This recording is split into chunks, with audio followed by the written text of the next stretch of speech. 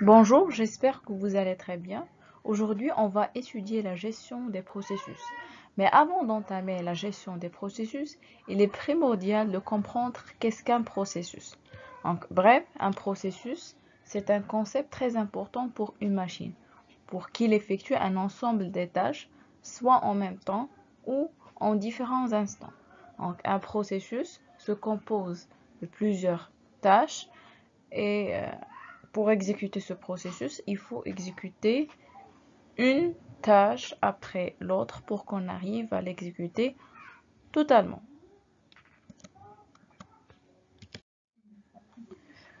En général, on peut donner une définition très complète concernant le processus. C'est un ensemble de phénomènes conçus comme actifs et organisés dans le temps c'est-à-dire ensemble des tâches effectuées pour produire un résultat. Et pour l'univers de l'informatique, un processus, c'est une unité dynamique qui matérialise un programme en cours d'exécution avec ses propres ressources physiques, bien sûr la mémoire, les processeurs, principalement le processeur, et logique, ce sont les données. Euh, c'est-à-dire, il y a un processus dans lequel on a des tâches. Ces tâches, pour les exécuter, il faut utiliser les ressources de notre machine. Et bien sûr, sur le système d'exploitation qui s'occupe de ces opérations via des mécanismes d'ordonnancement. Et c'est ce qu'on va découvrir par la suite. regardez ici, il y a deux types de processus. Euh, processus système et processus utilisateur processus système, c'est un processus lancé par le système, c'est-à-dire euh, le système d'exploitation reconnu deux types de processus. Donc, le premier est lancé par le système. Par exemple, on a un système d'exploitation Windows. Il peut lancer des mises à jour. On peut les considérer en tant que des processus de notre système d'exploitation Windows. pour, et euh, le deuxième type, c'est le processus d'utilisateur. Donc, euh, ce sont des processus lancés par l'utilisateur. Euh, par exemple, si l'utilisateur démarre une application, cela provoque la création d'un processus dans lequel il y a des tâches. Ces processus lancés, donc euh, c'est un processus lancé par l'utilisateur. Donc voilà un exemple ou bien une analogie par rapport euh, la vie quotidienne, donc un processus de, préparation d'un gâteau au yaourt, vous pouvez observer qu'il y a différentes instructions. Ces instructions représentent les tâches euh, que notre processus contient. Et euh, en informatique, et plus précisément en Java, on, utilise le mot-clé thread pour définir les tâches contenant dans un processus. Bien sûr, en utilisant la grandeur du temps, time. Donc, euh, un, simple exemple d'un processus de la vie quotidienne. Euh, vous pouvez observer qu'il y a des instructions. L'ensemble de ces instructions donne la naissance à un programme et euh, grosso modo un processus. Donc, ce programme, bien sûr, utilise des données. par exemple, une donnée concernant la quantité de la farine, une donnée concernant le nombre d'œufs, et qui dit données dit variables qui, sauvegardent des valeurs qui sont en réservation de l'espace mémoire euh, dans notre RAM, puisqu'on va parler de la mémoire euh, volatile, donc euh, on va réserver un espace mémoire de notre RAM. Et à ce moment, on peut dire que notre processus a besoin des données et par défaut un espace mémoire. Donc, voilà le, réalisateur de, ce processus qui concerne la préparation euh, gâteau au yaourt, euh, c'est euh, par exemple notre pâtissier, mais au niveau de l'architecture ordinateur, c'est le processeur. C'est lui qui va traiter ce processus pour l'exécuter. Donc le processus est l'activité qui consiste à préparer le gâteau. Il y a toujours cet exemple d'analogie. Mais dans la réalité, il y a plusieurs processus à traiter par le processeur. Donc, il faut gérer ces processus. D'où vient le concept de gestion des processus? Donc, ordonnancer, c'est-à-dire on va introduire la grandeur du temps et euh, synchroniser ces processus. C'est l'action de rendre simultanés les mouvements de deux processus. Donc, à vrai dire, la synchronisation de processus est un mécanisme euh, qui vise à bloquer l'exécution de certains processus à des points précis de leur flux d'exécution, de manière que tous les processus se rejoignent à des étapes relais, relais aux données telles que prévues par le programmeur. Donc, les fonctionnalités du système d'exploitation en matière de gestion de processus sont tout d'abord la création euh, la suppression et interruption du processus. Par exemple, si euh, notre processeur en train d'exécuter un processus, donc avant de passer au mode d'exécution, il faut créer ce processus pour euh, le combiner avec un programme dédié. et par la suite, après l'exécution, on peut le supprimer, mais à un certain moment, on peut l'interrompre pour donner la priorité d'exécution à un deuxième processus. Donc l'ordonnancement des processus afin de décider d'un ordre d'exécution équitable entre les utilisateurs, la, synchronisation entre les processus ainsi que la communication. Donc la gestion des conflits d'accès aux ressources partagées, la protection des processus d'un utilisateur contre les actions d'un autre utilisateur. Voilà, on est toujours au niveau de concept de base. Donc le système d'exploitation alloue à chaque processus une zone dans la mémoire centrale appelée espace d'adressage du processus. Donc, pour exécuter un processus au niveau d'un processeur, il faut lui donner un espace mémoire car le processus a besoin des variables pour être exécuté au niveau euh, de, de, notre processeur. Donc c'est très important de lui donner un espace d'adressage. Donc l'espace d'adressage d'un processus comporte une zone de données, une zone de code, une pile d'exécution. Donc pour bien comprendre ces trois éléments, euh, on va donner un exemple concret par la suite. Donc une zone de données qui contient les variables globales ou statiques du programme, une zone de code qui correspond aux instructions du programme à exécuter et une pile d'exécution contenant les appels de fonctions avec leurs paramètres et leurs variables locales.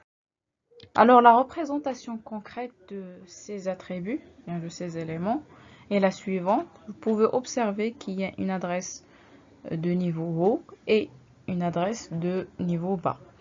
Donc on commence par la partie code, la partie données, et il y a toujours une pile d'exécution en laquelle on utilise euh, le, mécanisme bien l'algorithme last in, first out. Le concept PCB c'est-à-dire bloc de contrôle d'un processus. Euh, c'est le concept qui nous permet d'interrompre un processus et euh, de changer le contexte d'exécution au niveau d'un processeur. Qu'est-ce que ça veut dire? C'est-à-dire on va euh, créer au même moment que le processus et il est mis à jour en grande partie lors de l'interruption du processus afin de pouvoir reprendre l'exécution du processus ultérieurement on essaye de modifier la valeur du PCB pour qu'on arrive à changer le contexte d'exécution actuel au niveau de notre processeur. Euh, en principe, le PCB contient les informations suivantes. Il y a un compteur ordinal euh, qui contient l'adresse de la prochaine instruction à exécuter par le processeur, bien sûr.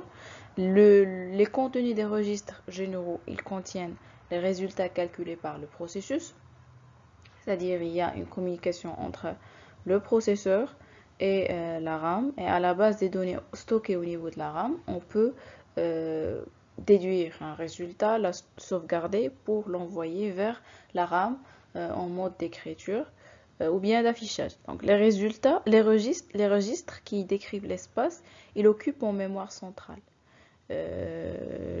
c'est la même idée. Donc le registre variable d'état qui indique l'état du processus. Euh, si euh, la valeur est négative, on peut euh, déduire une conclusion spécifique. Donc d'autres informations telles que la valeur de l'horloge, la priorité du processus, etc. Et bien sûr, la grandeur du temps est très importante pour qu'on arrive à savoir l'ordonnancement de l'ensemble de ces processus, la valeur de la lenteur, etc.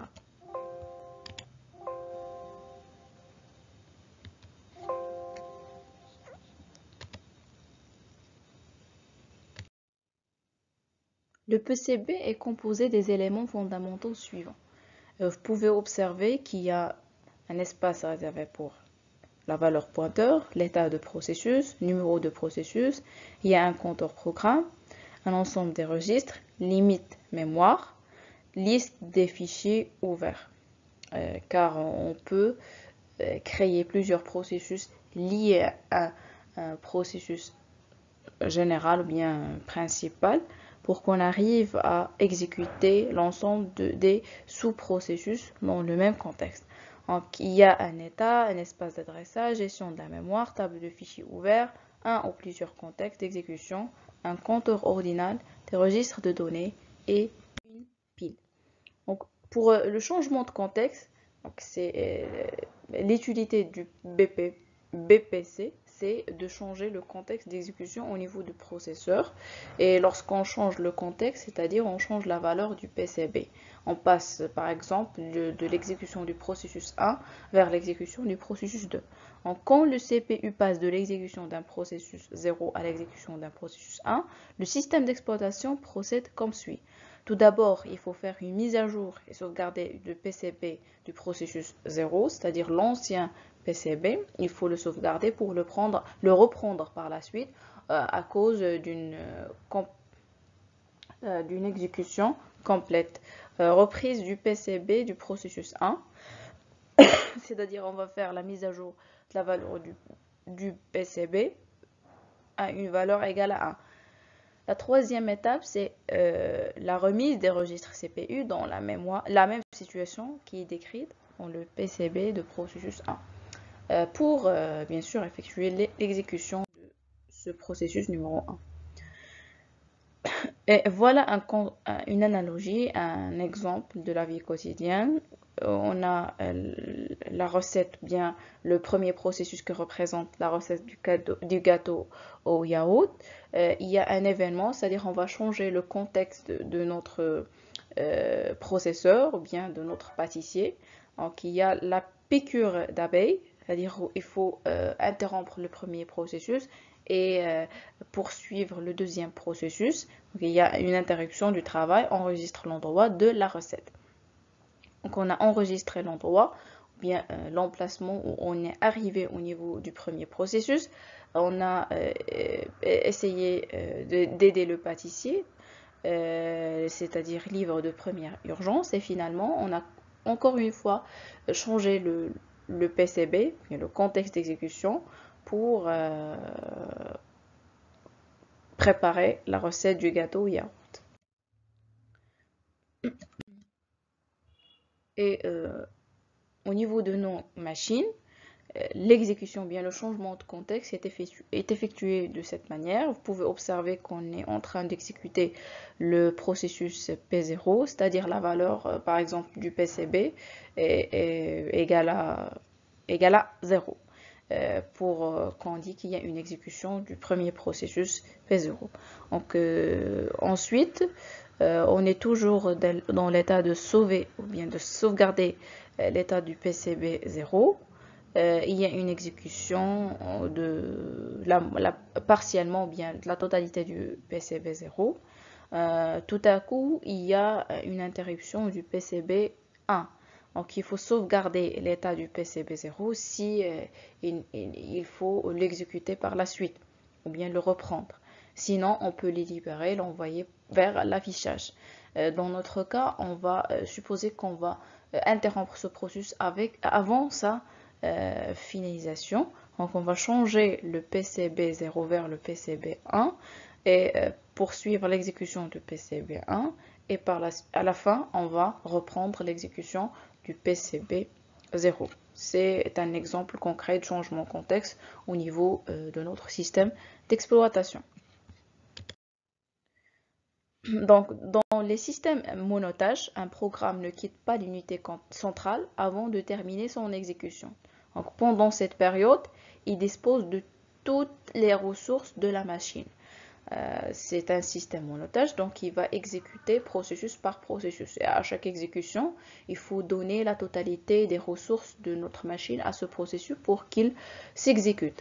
Par contre, dans les systèmes multitâches, c'est-à-dire il y a la possibilité d'exécuter plusieurs processus, soit en utilisant la concurrence ou bien la simultanéité.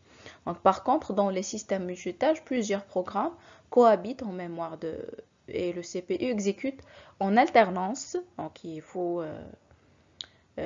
prendre en considération ce mécanisme, donc en alternance, le code des différents programmes. Dans ces systèmes, un processus peut se trouver dans l'un des états suivants. Donc en cours d'exécution, si le processus est en cours d'exécution, bloqué en attente euh, d'entrée-sortie ou bien d'une ressource pour pouvoir continuer, prêt si le processus dispose de toutes les ressources nécessaires à son exécution, à l'exception du processeur.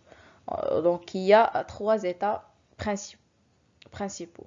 Donc le premier état, c'est euh, en cas d'exécution, c'est-à-dire notre processeur, euh, notre processus pardon, est dans le processeur et il est en train de s'exécuter. Euh, bloqué, c'est-à-dire il est en attente de, libérer un, entrée sortie pour la, reprendre en tant qu'une ressource et passer vers l'étape d'exécution. Prêt si le processus dispose de toutes les ressources nécessaires. Donc il est prêt et, il va passer directement vers euh, l'état d'exécution. Il les, ressources il va entrer directement en processeur dans le processeur. Donc, euh, pour bien comprendre l'ensemble de, ces états, vous pouvez observer euh, qu'il y a l'état en cours d'exécution, prêt, bloqué, nouveau, lors de la création du processus et terminé lorsqu'on est arrivé à la fin de, de, notre processus. Donc, le processus est bloqué en attente de, données. C'est l'état numéro 1, donc il est en attente.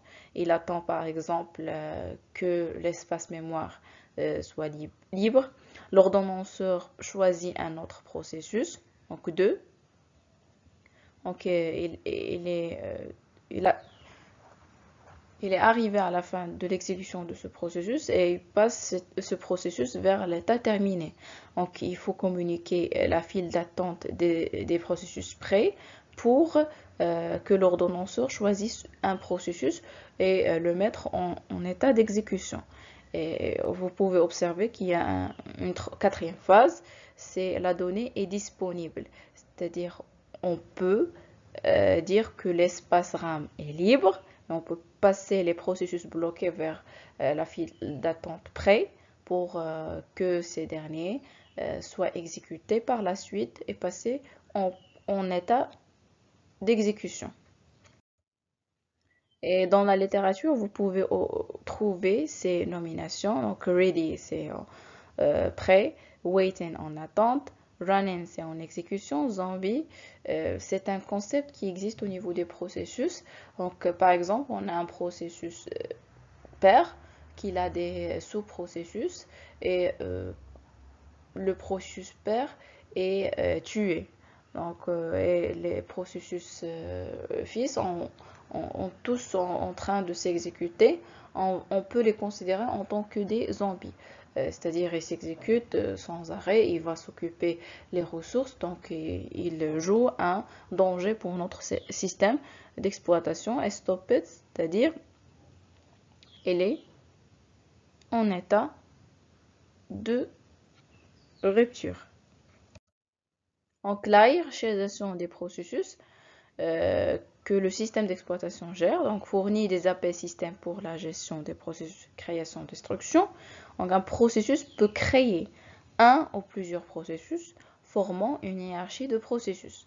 Un processus n'a qu'un seul parent, mais peut avoir zéro ou plusieurs enfants. Les, étapes que le processus passe,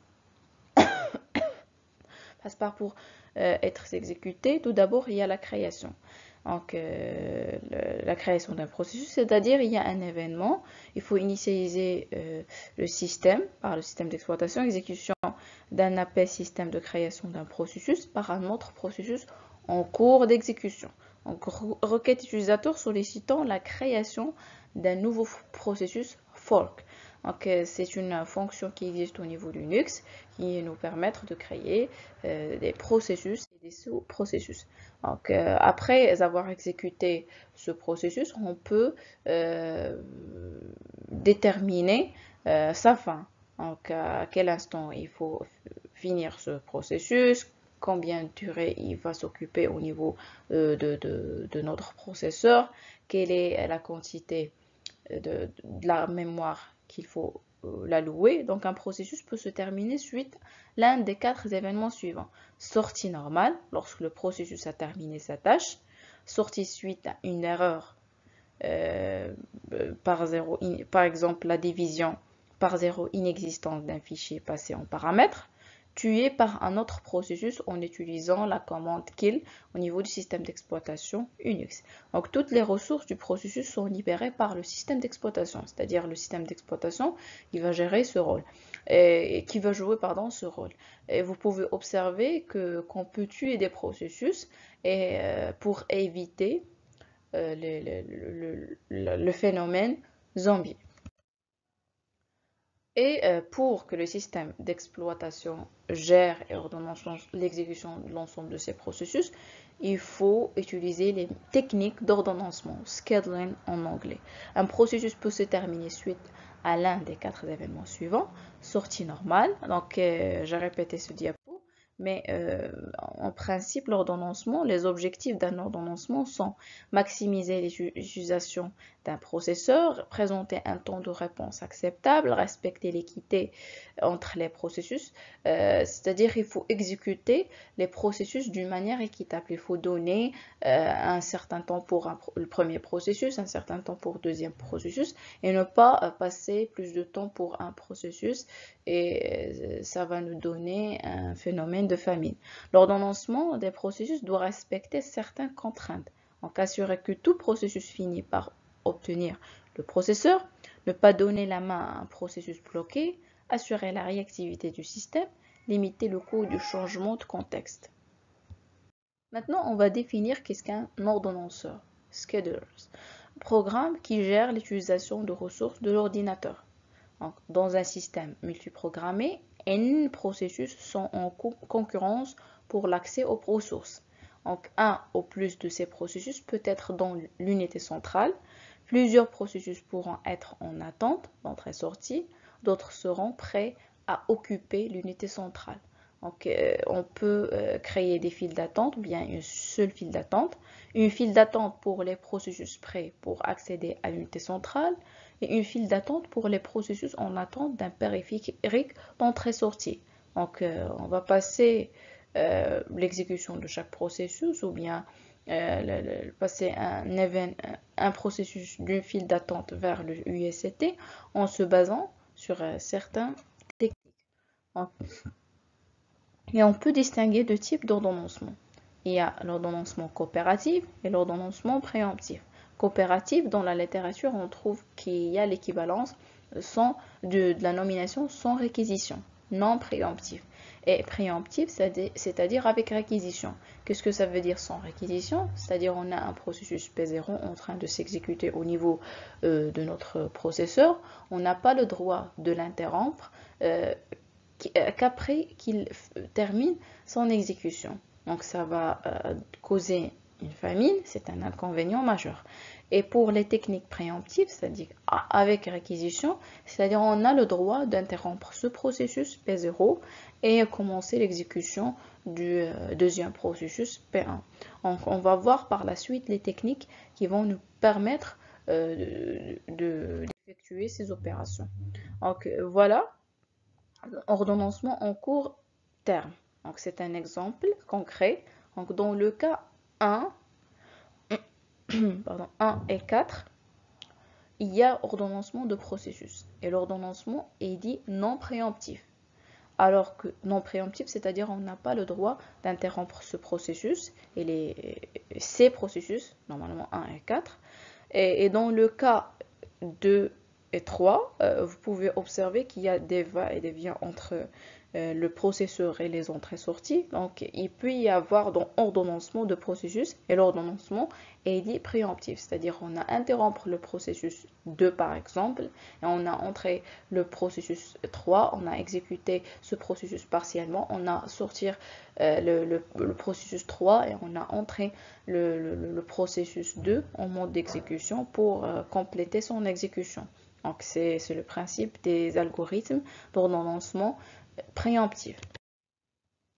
Donc, euh, il y a aussi un exemple euh, qui, euh, représente la relation entre la mémoire swap et la mémoire centrale et le processeur. Normalement, swap, c'est un espace mémoire auxiliaire qu'on peut utiliser lorsque notre RAM est saturée. Donc le manque des ressources peut parfois forcer le système d'exploitation à suspendre des processus. Donc, ils seront plus en concurrence avec les autres pour les, des ressources. Euh, ils seront repris plus tard quand les ressources deviendront disponibles. Donc, ces processus sont euh, élevés de mémoire centrale et mis en mémoire secondaire, peut être repris plus tard. Euh, pour cela, on peut observer qu'il y a des opérations de swap in et swap out entre euh, la, mémoire auxiliaire swap et la mémoire centrale. Donc lorsque la mémoire centrale est saturée, on peut passer ces processus vers la mémoire swap. Donc c'est une technique qui est, plus utilisée lorsque notre RAM est saturée. Donc, le premier algorithme qu'on va étudier, c'est euh, l'algorithme FIFO, First In, First Out, premier arrivé, premier servi. Donc, les jobs attendent les jobs, c'est-à-dire euh, les, processus, attendent dans une file. Le premier arrivé est admis immédiatement et s'exécute tant qu'il n'est pas bloqué ou terminé. Donc lorsqu'il se bloque, le processus suivant commence à s'exécuter et le processus bloqué va se mettre au bout de la file d'attente. C'est-à-dire le, premier arrivé, on va l'exécuter, on va le passer vers le processeur en état d'exécution. Donc l'avantage, c'est algorithme simple une fois qu'on reçoit un processus et que l'ancien processus a terminé euh, son exécution, on peut exécuter ce processus. L'inconvénient, c'est euh, les processus de faible temps d'exécution peuvent être pénalisés, c'est-à-dire ils vont attendre plus de temps alors qu'ils ont euh, une durée par exemple de 2 microsecondes, ils vont attendre 100 microsecondes. on a pénalisé ces processus. Parce qu'un processus euh, de longue durée les procède dans la file. Donc, ils vont attendre plus de temps.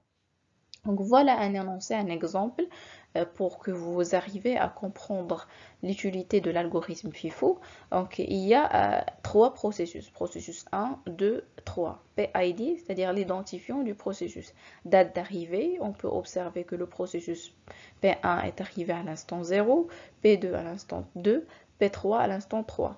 Et la durée euh, pour euh, chaque processus est la suivante. Donc pour processus 1, il y a 5 microsecondes. Euh, pour le processus 2, il y a 1 microseconde. Et pour le processus 3, il y a 3 microsecondes. Donc début d'exécution, on peut observer qu'on peut exécuter le PID1 ou bien le processus 1 pour le processus 1 à l'instant 0 et on peut finaliser l'exécution de ce processus à l'instant 5 euh, car on est au niveau euh, d'un algorithme non préemptif, c'est-à-dire sans réquisition. On ne peut pas interrompre ce processus à l'instant 2. On, va poursuivre l'exécution du premier processus. Deuxième processus, c'est-à-dire on va commencer l'exécution à 5, euh, puisqu'il a une durée d'une microseconde. Donc, vers la fin d'exécution, c'est 6. 3, euh, c'est la durée d'exécution du troisième processus. Donc 6 plus 3, c'est 9. Donc pour calculer la durée de traitement, il faut faire la, soustraction entre fin d'exécution et début d'exécution pour obtenir cette valeur. Et finalement, il y a tant moyen de traitement. C'est-à-dire on va faire la somme entre euh, de, ces valeurs sur 3. 3 représente le nombre des processus. Donc euh, voilà, on a rempli le, le, tableau. Donc 0, 5, 5, 6, 6, 9. On a fait la soustraction de 5 moins 0, 6 moins 5, euh, moins 2, pardon, car il est arrivé à l'instant 2, 9 moins 3, car il est arrivé à l'instant 3. Donc 5 plus 4 plus 6 euh, sur 3. Donc euh, normalement, il faut ajouter les parenthèses. Euh, et finalement, il va nous donner un temps moyen de traitement, c'est une valeur de 5 microsecondes. le deuxième algorithme, c'est l'algorithme shortest job first, le plus court d'abord. Donc, sera élu le processus dont on suppose que le traitement sera le plus court. Donc, dans le cas où plusieurs processus possèdent la même durée, l'algorithme FIFO sera appliqué sur ces processus. Donc, il faut que le système d'exploitation calcule le temps euh, restant d'exécution pour un, processus pour qu'on arrive à déduire qu'il est le processus qui a le plus court euh, temps d'exécution pour qu'on arrive à euh, le sélectionner et passer en état d'exécution. L'avantage, c'est optimiser le temps moyen d'attente des processus. Donc, il est clair euh, qu'on va optimiser ce temps d'attente. L'inconvénient, si des processus courts arrivent sans cesse, les processus plus lents n'auront jamais le temps de s'exécuter. Et c'est ça euh, la, famine. Donc, il y a un énoncé ici que je vais illustrer pour euh, comprendre le concept d'algorithme SGF. Donc, le temps on est toujours au niveau des, algorithmes, des algorithmes euh, sans réquisition. Donc, P1, P2, P3, il est arrivé à 0, il a une durée de 5 microsecondes, il est arrivé à 2, 3 secondes, il est arrivé à 3, 1 seconde. Donc on va commencer l'exécution 0,5. Euh, après, on va euh, trouver le 2. Donc euh, c'est 5. 5 plus 3, c'est 8.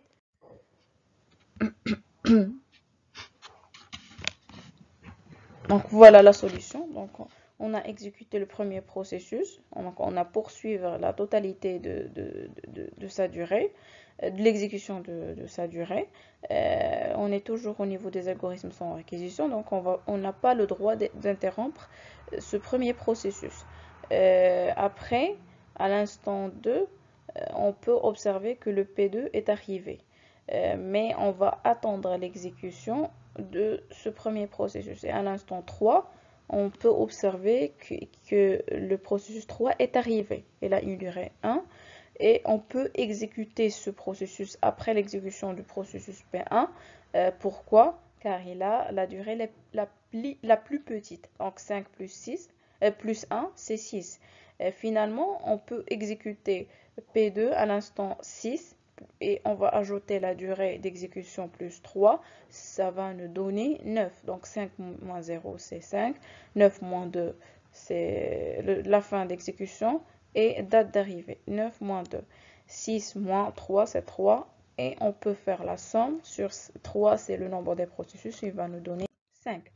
Le, euh, le troisième algorithme, c'est le tourniquet. Mais on passe vers des algorithmes avec réquisition. C'est-à-dire on a le droit d'interrompre les euh, processus. Donc le tourniquet FIFO avec réquisition, on trouve dans la littérature la nomination Round Robin RR.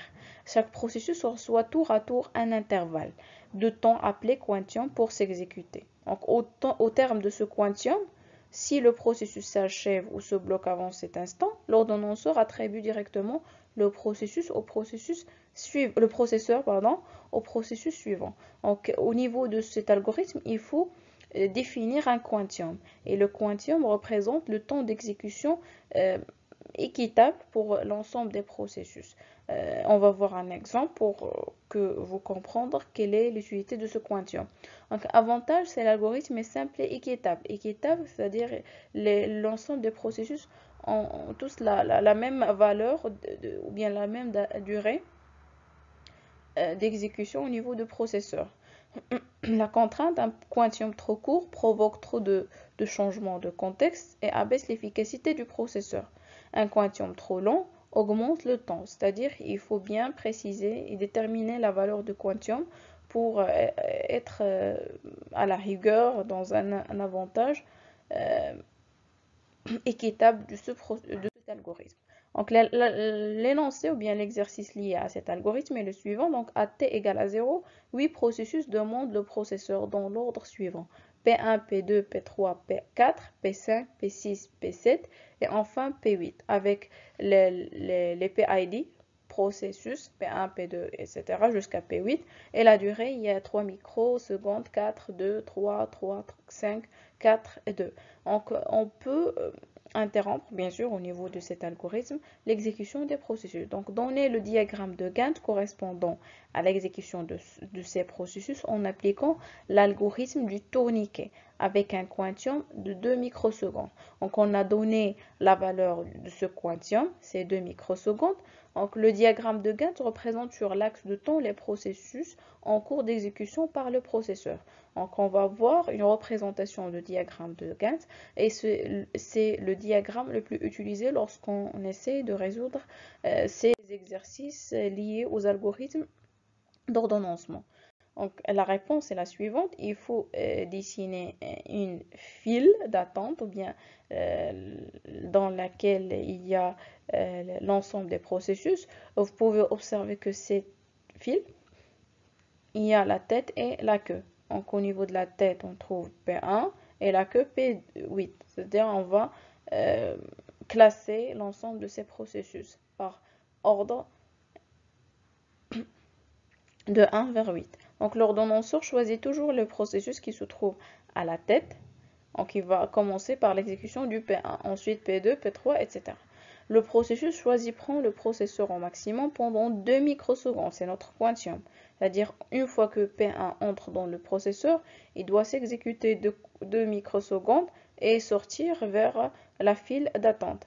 Au bout du quantium, si le processus a terminé son exécution, il quitte la file, sinon il est placé à la queue. C'est-à-dire il va être au niveau euh, après le P8 pour que P2 euh, passe vers l'exécution ou bien passe vers le processeur. Donc, diagramme de Gantt le suivant.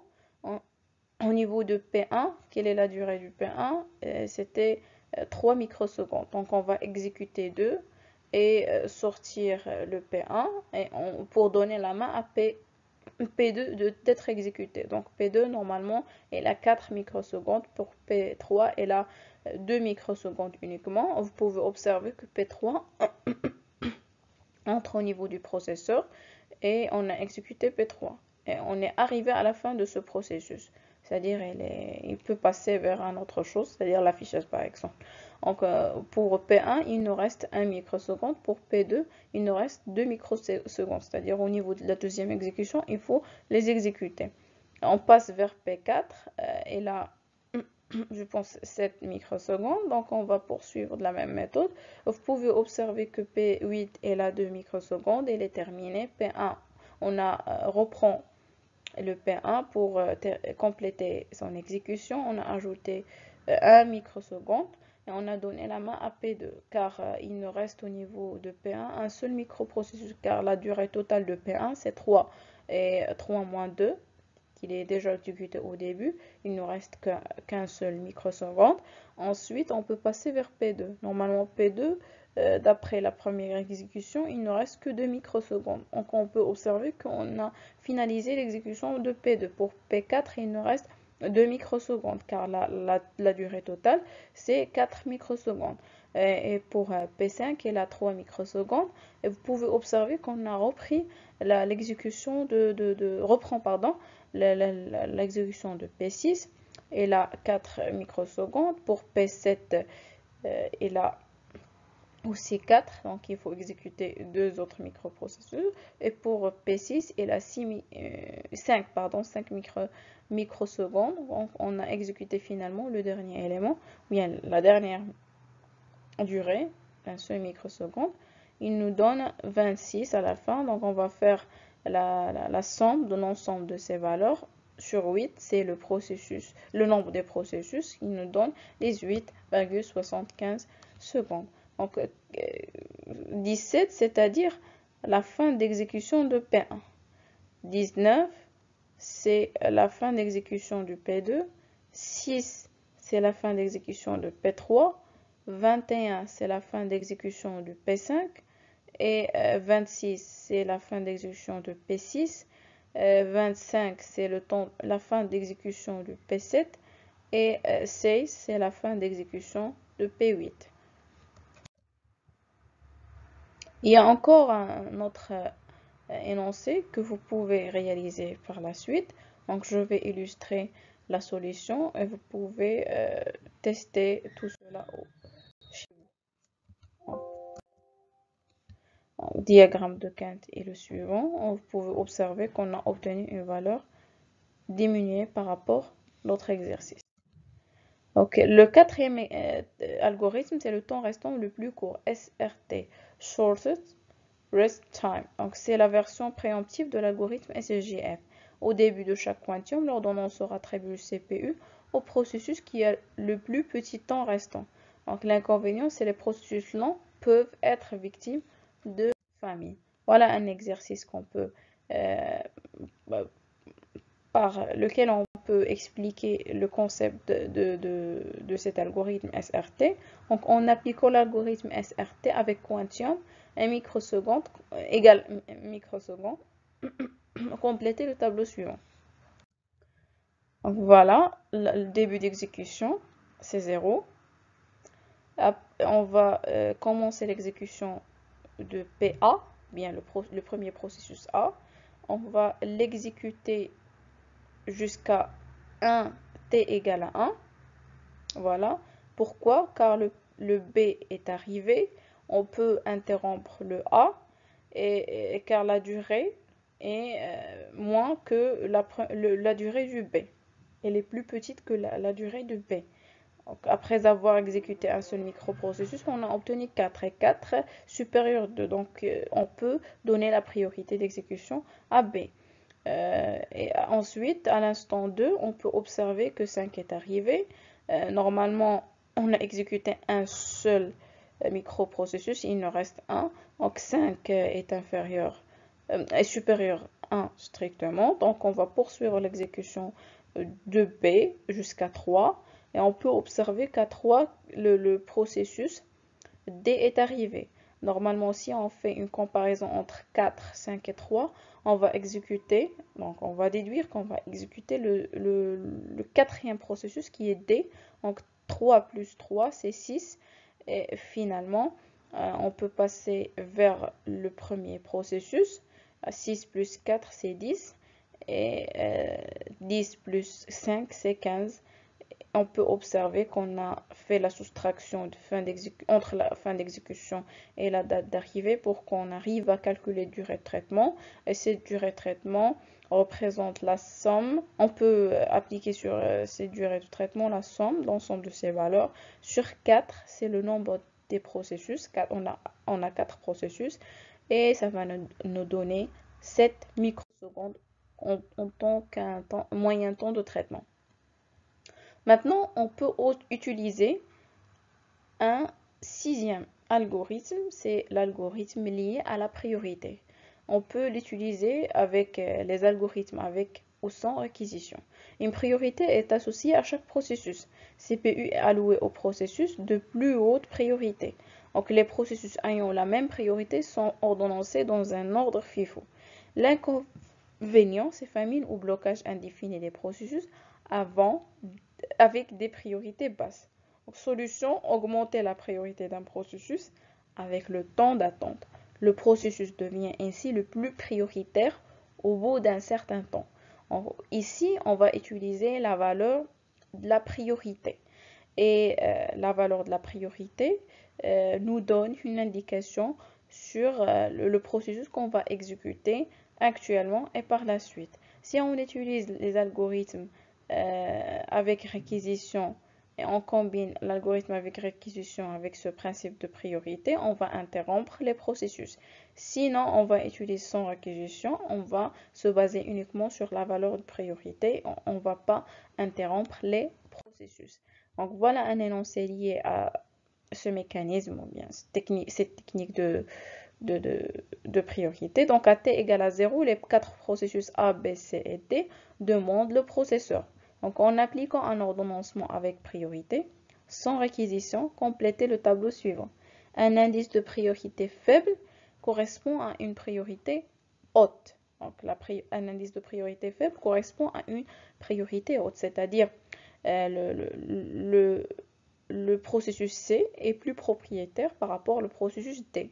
Le processus A est plus propriétaire par rapport au processus C, D et B. Donc c'est ça le principe. Ok, cela dépend de l'exercice. Parfois on trouve euh, une indication inverse. Donc un indice de priorité élevé correspond à une priorité haute. Donc, à vous de prendre en considération la, condition écrite au niveau de, l'énoncé. Donc, si on applique la priorité, c'est-à-dire on va exécuter à l'instant, dans un premier temps, pardon, car ils sont arrivés à l'instant t égale à 0. Donc, on va exécuter quoi? Le premier processus, c'est A car il a la, priorité la plus élevée. Euh, c'est-à-dire on a commencé l'exécution à t égale à 0, donc on va finaliser l'exécution de ce processus à 5. Le deuxième processus qu'on doit exécuter, c'est le processus C. Donc 5 plus 5, c'est 10. Et pour le processus 3, 10 euh, plus 3, c'est 13. Et finalement, 13 plus 2, c'est 14 plus 2, c'est 16. Donc, c'est le principe qu'on a utilisé. On va faire la Non pas, euh, ici, on n'a pas un temps d'arrivée euh, différent. C'est même, la même valeur, t égale à 0. Donc, on va euh, tout simplement copier-coller ces valeurs, faire la somme entre ces valeurs, les diviser sur 4, car on a 4 processus. Il va nous donner une valeur moyenne de traitement. Donc, fil à plusieurs niveaux, multiples la file pré est séparée en plusieurs files. Euh, donc, pour exécuter les processus, il faut créer soit une file d'attente ou bien plusieurs files d'attente. Cela dépend de votre système d'exploitation. Euh, donc, la file pré est séparée en plusieurs files. Donc, il y a travaux d'arrière-plan et travaux de premier plan. Euh, c'est pour cela qu'on utilise des algorithmes différents pour ordonnancer l'ensemble de ces travaux. Donc, par exemple, on va utiliser first come, first euh, served pour arrière-plan, tourniquet pour premier plan. Donc, comment ordonnancer entre fils? Donc, priorité fixe à chaque fil, famille possible. C'est pour cela qu'il faut euh, faire ou bien euh, donner des valeurs différentes de la priorité. Donc, on peut dire qu'il y a une priorité variable. Donc, voilà un exemple des fils d'attente ou bien ordonnancement avec fil multiple. Donc il y a fil d'attente pour processus système, processus interactif, processus d'édition, euh, processus batch, processus des étudiants. Donc plus basse priorité, plus haute priorité. Fil multiple et à retour. Donc un processus peut passer d'une file à l'autre, par exemple quand il a passé trop de temps dans une file. Donc il faut passer ce processus vers un, une deuxième file pour euh, s'exécuter. À déterminer nombre de fils, algorithme d'ordonnancement pour chaque fil, algorithme pour décider quand un processus doit passer d'une file à l'autre, algorithme pour déterminer pour un processus qui devient prêt sur quel fil il doit être mis. Donc on peut observer qu'on utilise plusieurs algorithmes par rapport à une seule file d'attente. Donc euh, voilà un exemple concret. On a trois files d'attente. La première file d'attente, elle a un quantium de 8 microsecondes. la deuxième file d'attente, elle a un quantium de 16 microsecondes. Et euh, la troisième file d'attente, il applique un algorithme first come, first euh, served. C'est le même principe de FIFO. Trois fils Q0, tourniquet quantium. Donc, euh, il y a l'application des algorithmes, de l'algorithme round robin l'ordonnancement, donc un nouveau processus entre dans Q0. Donc il reçoit 8 millisecondes ou bien microsecondes d'une unité centrale. S'il ne finit pas dans les 8 microsecondes, il est mis dans Q1. Donc il reçoit 16 microsecondes additionnelles. en commandant une deuxième chance pour être exécuté. S'il ne finit pas encore, il est interrompu euh, est mis dans Q2. Euh, si plus tard il commence à demander des quantiums plus petites, il pourrait, retourner à Q0 ou bien Q1. Et en pratique, les méthodes que nous avons vues sont toutes utilisées en, pratique, sauf plus court euh, servi pur qui est impossible. Euh, pourquoi il est impossible? Car le, système d'exploitation, il, il, faut s'occuper à chaque instant de calculer la totalité des processus et ça va consommer plus de ressources. Les systèmes d'exploitation sophistiqués fournissent aux gérants du système une librairie de méthodes qu'il peut choisir et combiner au besoin après avoir observé le comportement du système. Pour chaque méthode, plusieurs paramètres sont disponibles, par exemple durée du quantium et coefficient. Et finalement, notre étude des méthodes d'ordonnancement est théorique, ne considère pas en détail tous les problèmes qui se présentent dans l'ordonnancement euh, d'unité centrale. Par exemple, les ordonnanceurs UCT ne peuvent pas donner l'UCT à un processus pour tout le temps dont il a besoin, car en pratique, l'UCT sera souvent interrompu par quelques événements externes avant la fin de cycle ou bien de son cycle. Cependant, les mêmes principes d'ordonnancement s'appliquent unités qui ne peuvent pas être interrompues, comme une imprimante, une unité et disque. Dans le cas de, ces unités, on pourrait euh, avoir aussi des informations complètes concernant le temps de cycle prévu. Aussi, cette étude ne considère pas du tout euh, les, temps d'exécution de l'ordonnance. Et euh, voilà, c'est la fin de notre séance. N'hésitez pas d'écrire des commentaires concernant ce cours. Merci pour votre attention. À la prochaine séance.